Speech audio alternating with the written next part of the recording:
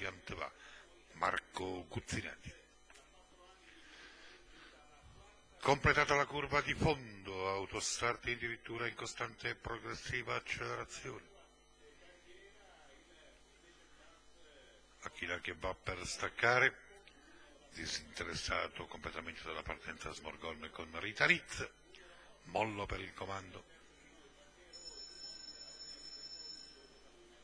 Revenge Bar in vantaggio al suo interno ha provato